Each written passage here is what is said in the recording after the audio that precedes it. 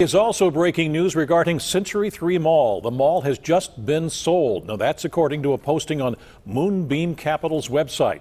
Just yesterday, a bankruptcy judge agreed to allow the mall's owners to borrow up to $5 million to try to make repairs so that the building would once again be safe for occupancy. It was just last week that officials in West Mifflin closed the mall, saying that it was unsafe and uninhabitable after the building's sprinkler system burst. The mall's owners filed for Chapter 11 bankruptcy protection five months ago. It is not clear yet just who bought the mall. We're working to try to learn those details, and we'll have more on the sale of the Century 3 Mall coming up in our newscast later this afternoon.